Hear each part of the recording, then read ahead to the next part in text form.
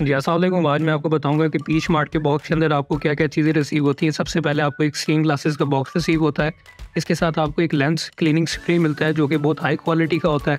साथ आपको एक माइक्रो फैब्रिक क्लॉथ मिलता है और यूज़र मैनुअल मिलता है, जिसके अंदर हमारे सारे प्रोडक्ट की इन्फॉर्मेशन मौजूद है। इसके साथ आपको एक पाउच भी रिसीव होता है।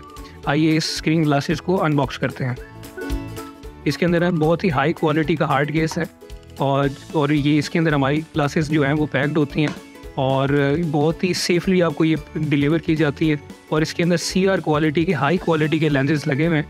तो आइए इसका ब्लू लाइट टेस्ट करते हैं कि क्या ये स्क्रीन लेंसेज को ब्लॉक करता है। स्क्रीन रेस को ब्लॉक करता है कि नहीं करता?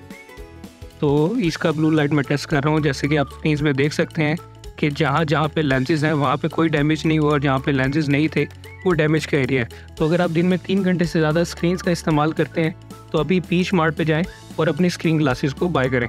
बहुत शुक्रिया।